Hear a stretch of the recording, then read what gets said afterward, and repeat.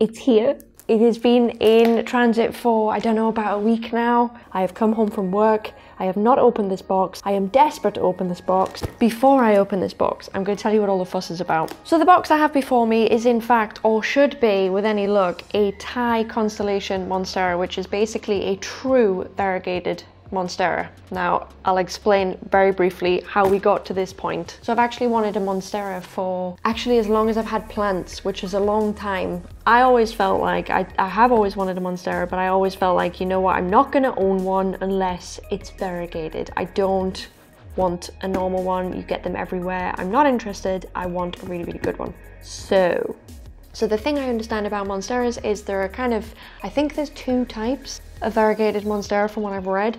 There is a Monstera albo borsigiana or borsigiana. I'm not sure how to pronounce that. I will put the name on the screen right now, which is still a monstera, only it grows the way it grows, it vines and the leaves can't get like huge, if that makes sense. Like it's not, it's a monstera, but it's not what's considered a true Monstera. Um, they are variegated, they're very beautiful, and I do actually want one. But I thought I'd go a step further and get the really rare one, which is the Thai Constellation Monstera, which is still variegated, but these ones get like huge. Like their leaves can be like two foot long. Like these are the big, big Monstera. So I don't want to keep you too long, I just thought I'd tell you what that is.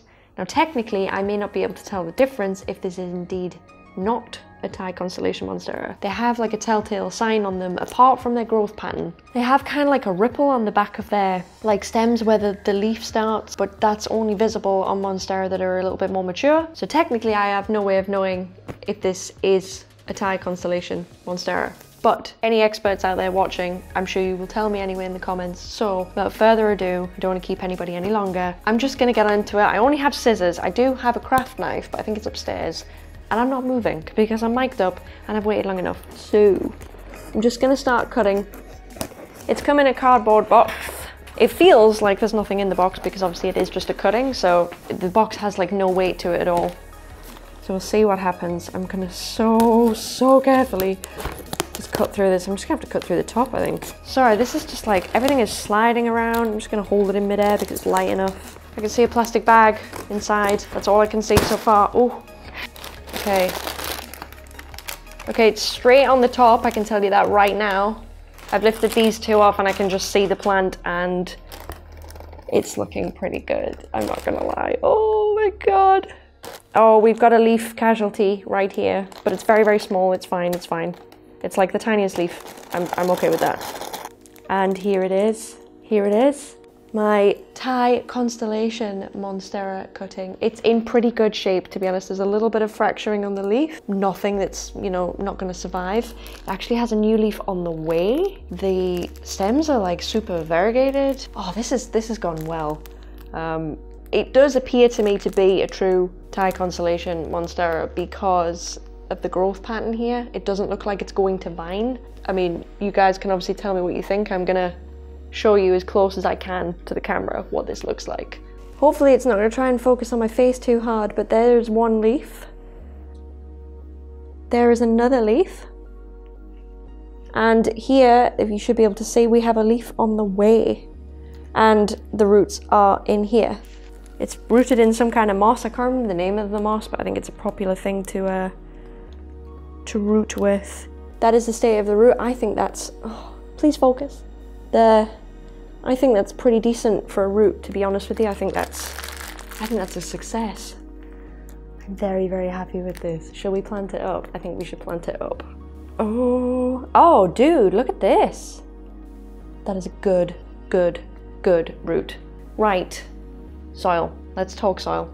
I have the same potting mix I used the other day on repotting the houseplants. I think it's going to be fine, but just in case, I mentioned in my last video that I was saving some cactus mix just for this.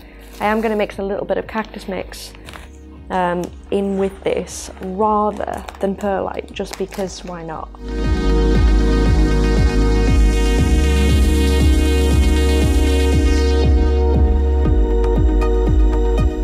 See, okay, so there's a con of this, and that's that I can't see the ratio of cactus mix to the other stuff.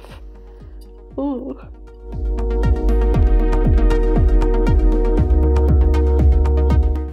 Take my cutting. Ah. It's not, that's not actually a cutting. I say that's a cutting, that's not a cutting. I'll just, I'll stop myself right there. That's actually like a baby plant, so.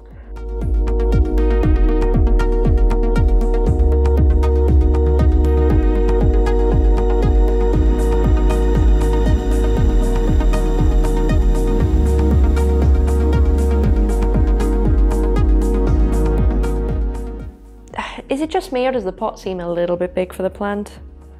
I don't know. I mean, it's a monstera. I'm pretty sure generally they grow quite quickly, so maybe I shouldn't be too worried about it. But I don't know. Uh, if it turns out, by the way, by the time you see this video, it's likely that I will put this video up 24 hours after I've filmed it, just because I have a lot to do tonight and I'm not going to have time to edit this. If you see me do something here that is like, oh my god, don't do that, you're going to kill the plant, please tell me. and uh, comment down below. And um, I will change my ways immediately and change whatever it is I've done that could possibly kill this thing because it's cost me a pretty penny, I'm not going to lie.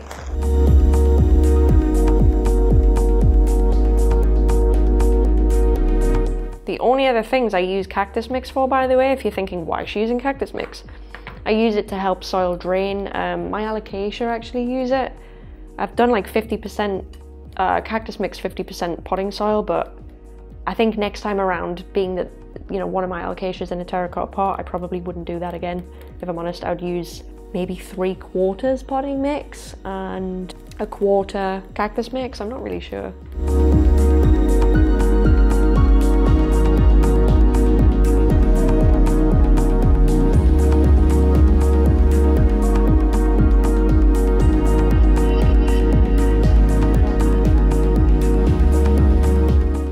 She is. She, he, I don't know. I think I'm gonna name it.